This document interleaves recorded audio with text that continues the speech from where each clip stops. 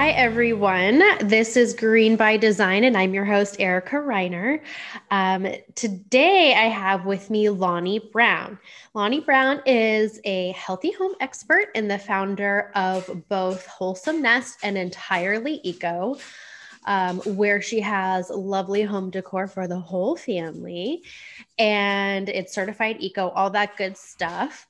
And um, I believe you're out in Colorado. Is that right, Loni? Yes, I'm in Colorado now. And she's also a mom of two. Yes. Okay, great. got it. Got it all today.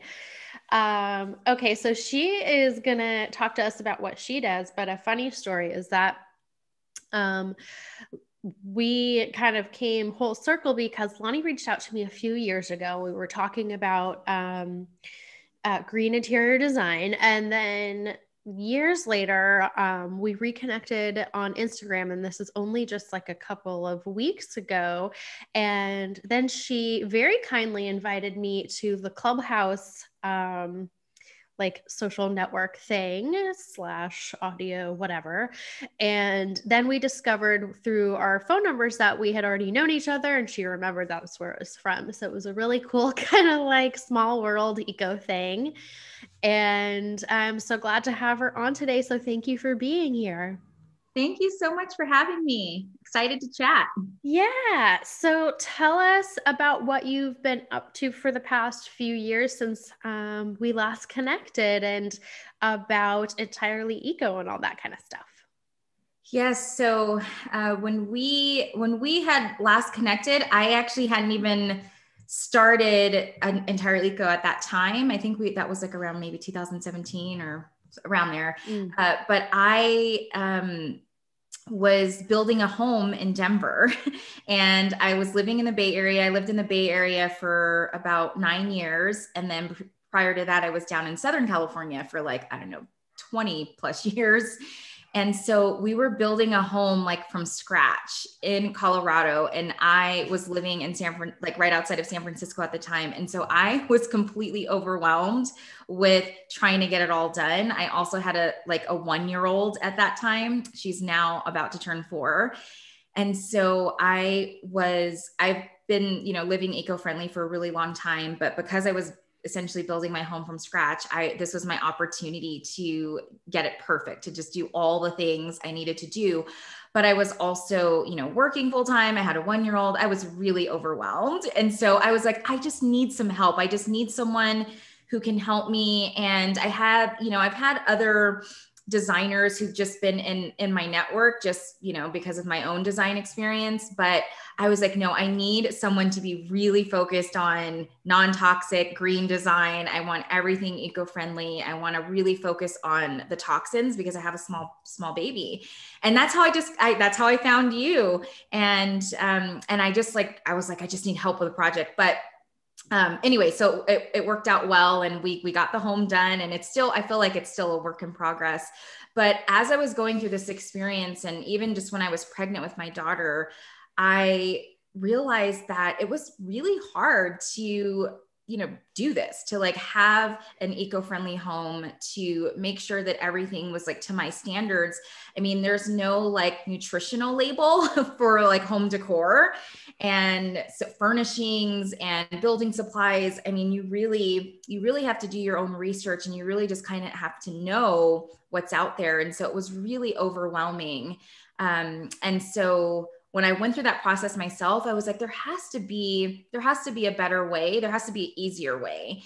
And so I did, I got the idea to start my site from just my own experience. And I was like, I want to, I want to, because I was already vetting a lot of these vendors and a lot of these manufacturers and um, really doing that own research on my own, I was like, I want to just have a place where people can come and see products that they like and not have to do all the research there on their own. Like they're a trusted source that you know has vetted the products and has high standards. And so that's really how i got the idea to start to start my own business.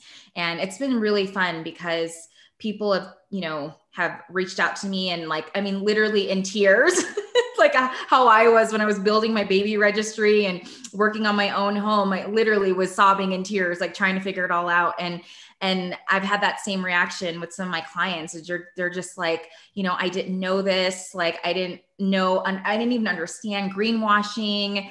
And because in the home decor industry, like there is no nutritional label, right? It's just so hard. People, you know, manufacturers are able to label things safe for baby, eco friendly, non toxic, you know, just all the buzzwords.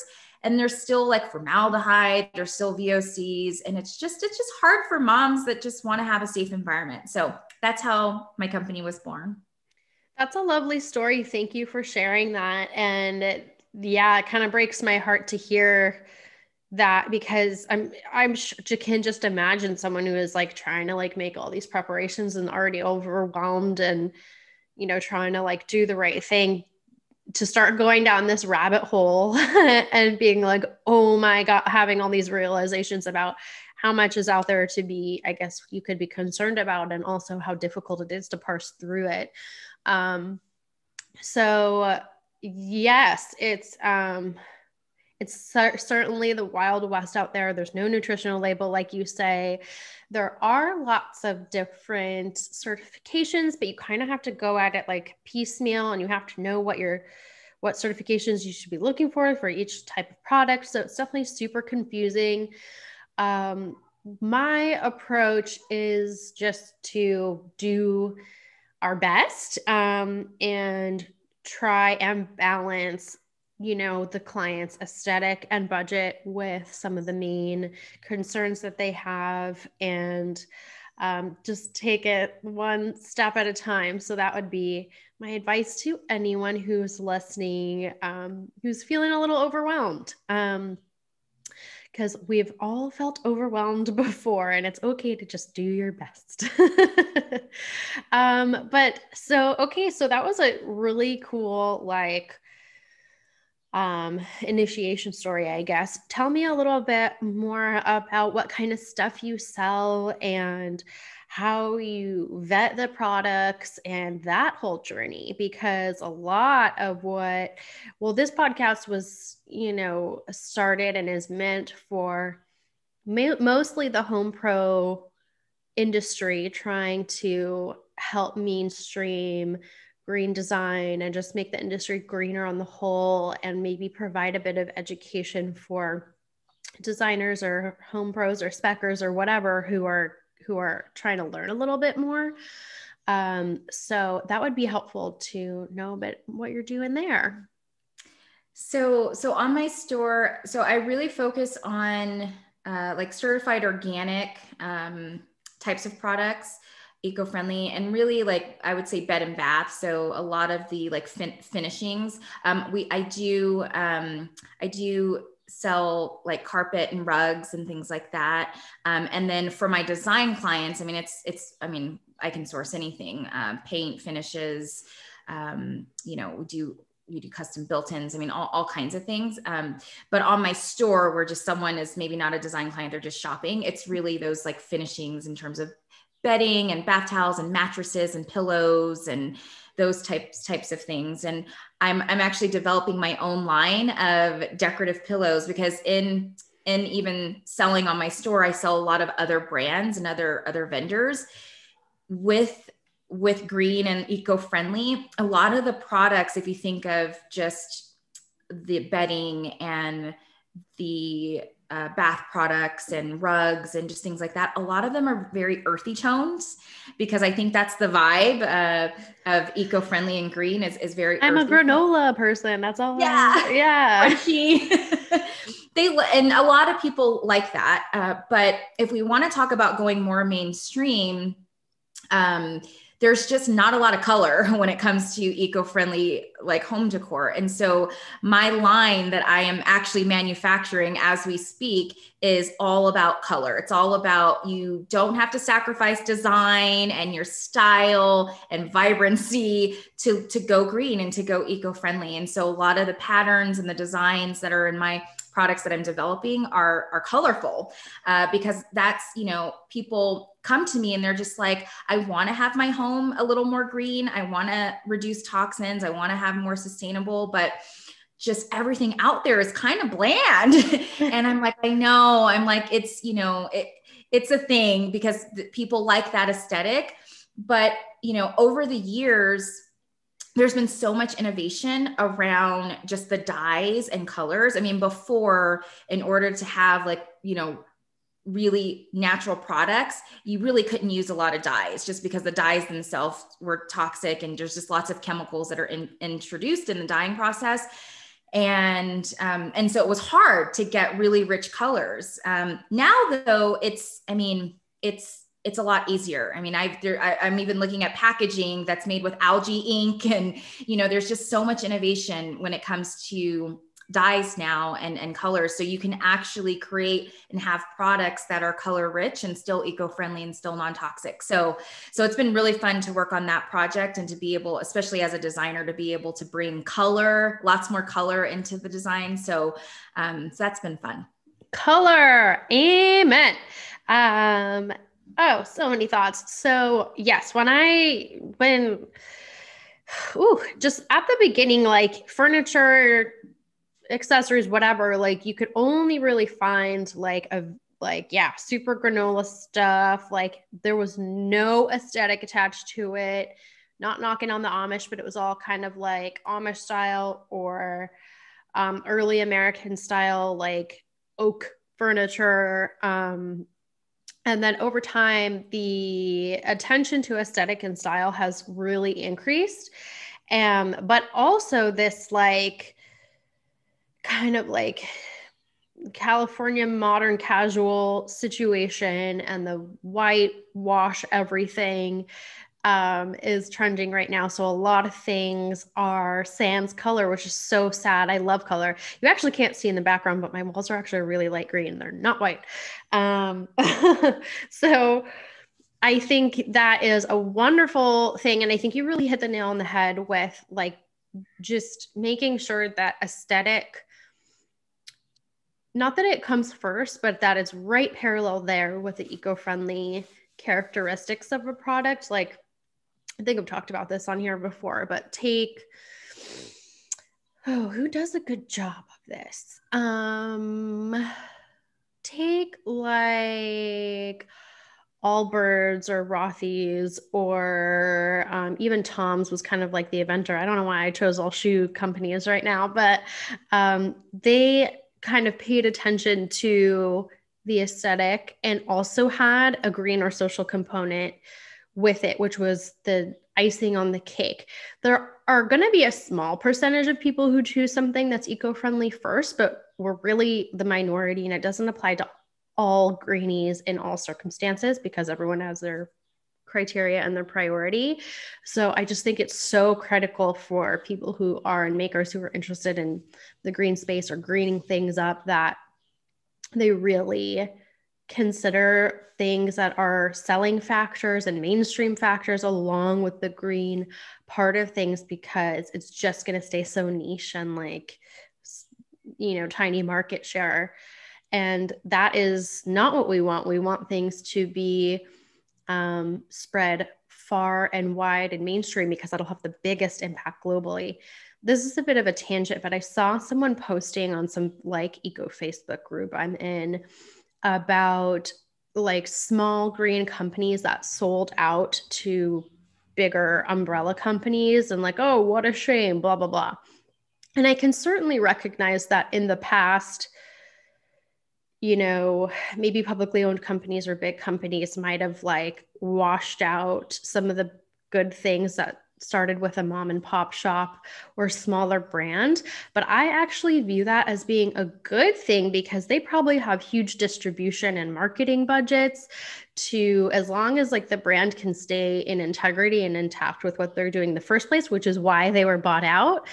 Um, that that's actually a really good thing because the more the more people we can get to buy green, the more it'll push for even more innovations and more um, price drops and accessibility and access. So um, that was my Professor Reiner lecture for the day. A little bit of a tangent, but I just think you hit upon a really good point. So, congratulations on starting your own line. I can't wait to see all the colorful, fun stuff for your um, throw pillows. Are they going to be covers or inserts too? Uh, so there are zippered covers, and then uh, and then I sell the inserts as well. But you could, could just buy, you know, they could just buy the cover if they want. Mix and match. But it's all GOTS. It's all GOTS certified, and yeah. Wonderful. Um, so, what do you want other designers to know that you have gained in your experience going through um, starting your businesses? Who might be thinking about going green or trying to educate themselves a little bit? Yes, uh, I would love people to know that it's it's it's not as hard as people think, um, especially nowadays. I think five years ago, ten years ago, it was a lot harder just because you really had to search and um, there there wasn't this huge like as big of a movement now though i think especially even with the pandemic and covid i think just people are way more aware of their indoor environments. They're way more aware of toxins and chemicals and you know building up their immune systems. So you know i, I definitely have been seeing this shift to want to reduce toxins. Um, and even just groups and communities pop up uh, with lots of people. I mean, some of the communities I'm in are there literally 20,000 people in these groups that are all wanting to like reduce toxins at home and all of that. And so right now, I think, um, I think letting people know that you can still have a really well designed space and it still be eco-friendly. I think that's what people that's kind of this new wave of, of people knowing that oh i didn't realize i didn't have to sacrifice design. I didn't realize that there were actual designers out there that specialize in this. Um, it's a great selling point i think as industry and as professionals to be able to offer this to your clients. And even you know i've talked to other designers where they don't even market themselves as a mm-hmm. green designer they're like i just market myself as a designer and i just try to incorporate naturally even if the client's not asking i try to incorporate better products like better building materials better quality you know decor and finishes and things like that and they'll let them know you know these are some of the benefits of the product but they don't it's not that they're even wanting clients to seek it out from them. They're just offering this um, as a standard in their service. And um, which to me is great because i do think there's a lot of misconceptions around green design and just eco-friendly that it ha- that it's like way more expensive and that the quality isn't as good as some of the standard conventional products. And that's just not true anymore.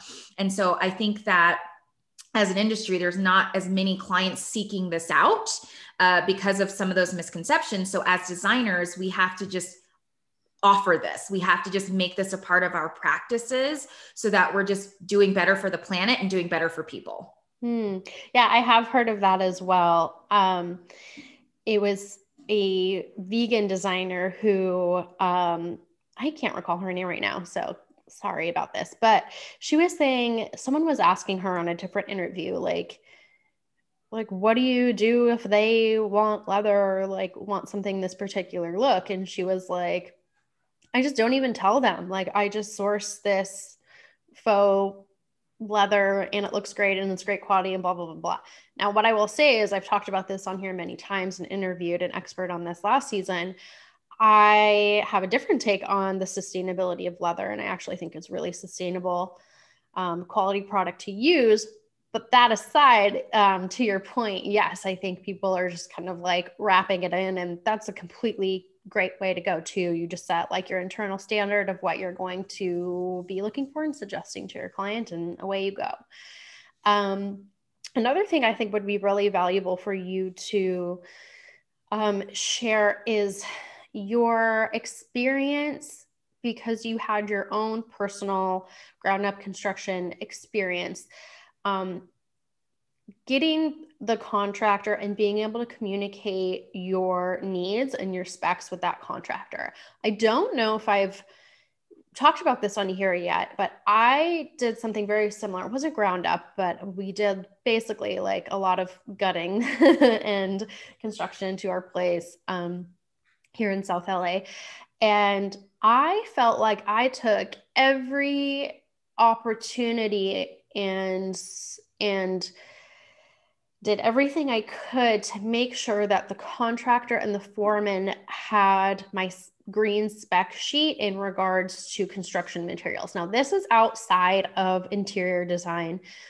Um, this is more like of a green construction pro person or architect or like green coach or like whatever you want to call yourself.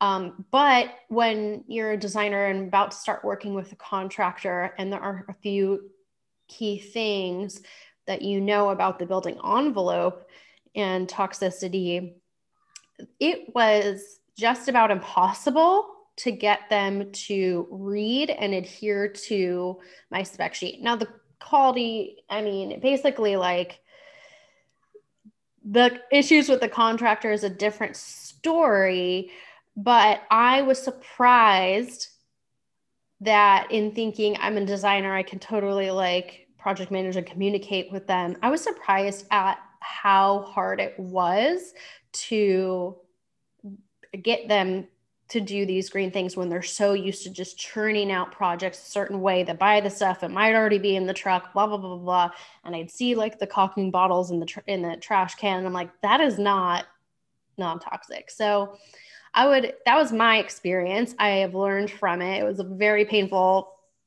point for me, but I would love to know how you handled it and what that looked like for you.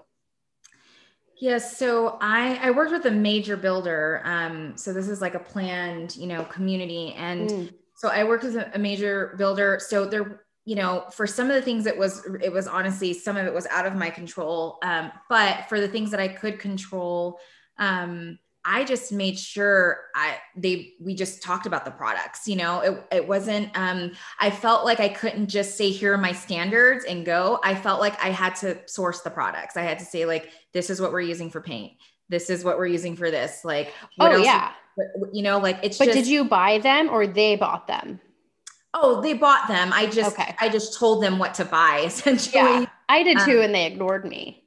Oh, they didn't know mine. I, I, I mean, I explained to them why, you know, why this was so important. And I uh-huh. am, you know, and, you know, we just had that understanding and they, um, they just, you know, they just used what I said and I was on site. So I could actually mm. see that they mm. were like using, you know, using the things. I was going back and forth from San Francisco to Colorado. So that was a little difficult, but but my husband was here weekly like he his we moved here because his job relocated here. So he was actually already here working. So he would just come by and like look at everything. Um but that part you know that part was uh was it was definitely difficult. I feel like um when i my contractor that i used for all of like my built-ins and um you know, I didn't have my actual builder do any of our built-ins. Um, I, I was like, I'm gonna have that com- be completely done by my own contractor. So all of my built-ins and everything like that, um, I worked with a contractor and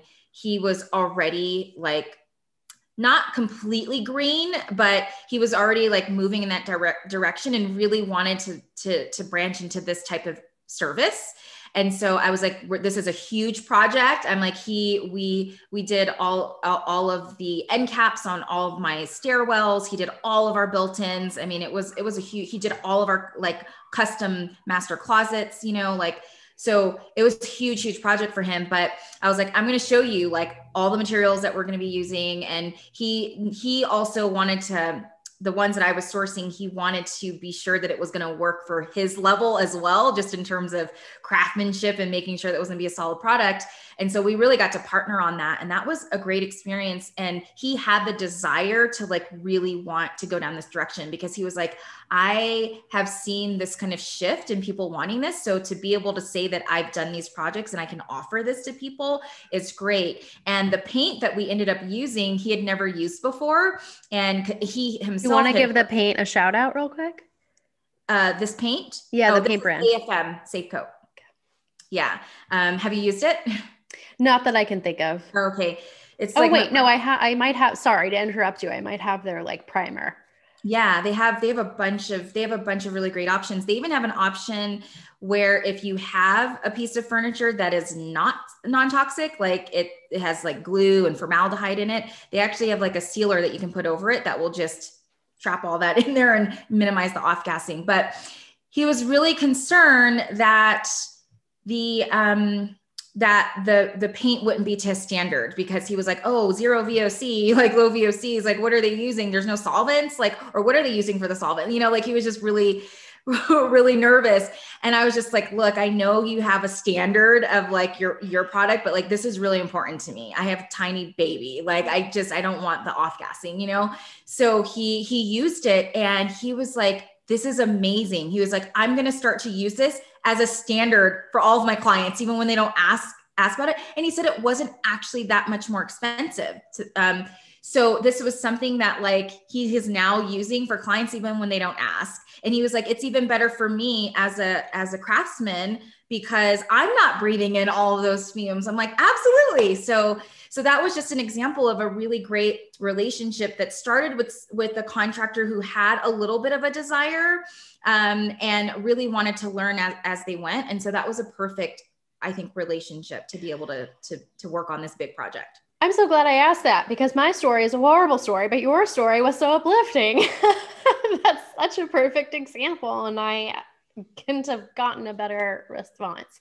Um, so that's beautiful. Thanks for sharing.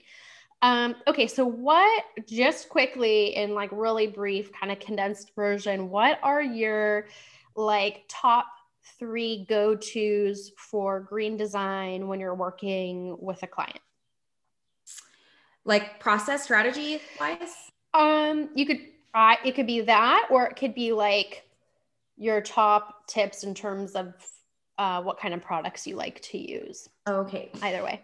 So, so uh, when it comes to finishes, so think stains, paints, the, those type of things, I really focus on low VOC or zero VOC. I really specialize in baby environments. So I'm working, my projects that I work on are homes with small children, like nurseries and, and the rest of the home too, but, but baby rooms and, and nurseries and things like that. So for me, like, you know, low VOC, zero VOC finishes is like a non negotiable. Like that is just, you know, um, and then when it comes to furniture, I like I, I prefer solid wood furniture um, with those zero VOC or, or low VOC finishes.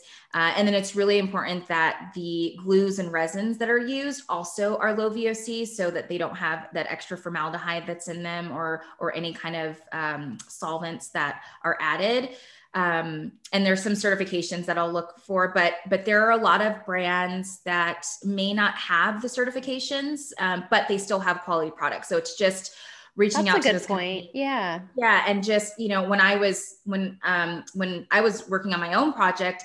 I um I really care about the aesthetic and the design of the furniture too. Um, and so I found some really I was like looking into some really good brands. And so I would just ask them like, send me your material data safety sheets. I can look at the finishes that are used. I can look at the glues and the resins that are used, and I can determine if you know if they're low VOC or not. Uh, because some of these, especially some of these smaller furniture companies, they don't have the budget to to do all of the certifications, yeah. and so you can find some quality products that um, that would meet the standards that don't have those certifications that that could still work. And so usually when i have clients that have smaller budgets that's usually the route i'll go because those those companies are going to have all of the certifications that you're looking for. They are going to be a little bit more expensive. So um, so that so I would say that um, those are those are the big things for me. And then uh, and then I really uh, am not a fan of synthetic anything, to be honest. Um, I don't like synthetic rugs, synthetic carpet, synthetic um, materials for like sofas and things like that. Uh, a lot of them are like performance fabric, but it's synthetic and they're made with petrochemicals. They a lot of times have extra flame retardants added to them. So I'm just not a fan of those. So I, I prefer to go the natural fiber route um, without you know any of the flame yeah. retardants or pesticides and things like that. So that's a great top three. My quick follow up question for your um, second one about like just send me the data sheet. Are you then cross referencing the ingredients, so to speak, with like declare or like where are you cross you Google them or like yes. how does yeah what yeah, I will usually go down a rabbit hole. yeah, I will, look, I will, look, up on Declare first because that's usually easy, an yeah. easy, quick search. Um, and then a lot of times they just list the product. They're like, this is the finish that we use. So then I will go to that company's site and see if I can find out more about the finish and um, and ask you know ask them very specific pointed questions. Uh, because if you just say like oh is this non-toxic? they're going to be like yeah.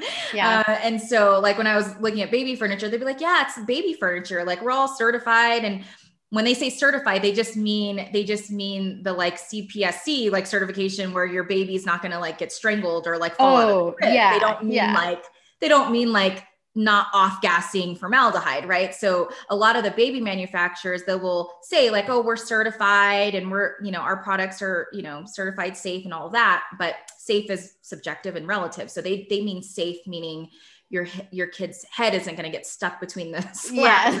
yeah. like that, right? So so I have to actually I have to actually ask them like, "No, no, do does your product have formaldehyde in it?" Uh, and they'll be like, "No, there's no formaldehyde. Why would there be formaldehyde?" And I'm like well, send me your data sheet. Let me know, like, let me take a look. And sure enough, a lot of times there would be formaldehyde. In- yeah, because it's just like some customer service or sales rep who was like right. prepped on how to sell and like their product lines and have uh, the manufacturing. The one of the problems with manufacturing, I think, like being far removed for a lot of things that we're importing in the US is like there's just an informational disconnect, let alone like the socioeconomic debate about it or whatever. But it's just kind of like same thing with our food industry. Like when you're so removed from how um, the sausage is made, like it's mm-hmm. just we I you can't really expect the sales people who are making whatever minimum wage to like know for you, um, with the exception of a few great companies and hopefully more to more to um, come onto the market. Um, so, really good points again. Um, there has been some debate about the very heavy, difficult topic of sudden infant death syndrome and what causes that. And I'm curious what you've come across in your research because, as a mom and also as now a practitioner, um, I have seen like scholarly, you know, write-ups on both sides of the issue. One was an older study from New Zealand that had like super conclusive results from, you know, like the kind of mattress, etc. And then I've seen a lot of stuff like debunking that or trying to debunk it. So just wondering if you had any thoughts. It's a hard topic, um, but let me know what you've seen. Yeah. So, I mean, there's no disputing the firmness of the mattress. Like that has sure. you know, definitely been proven. But whether or not the mattress is organic or not off gassing certain chemicals or flame retardants, I mean, it's still, it's still, it's still like kind of out there.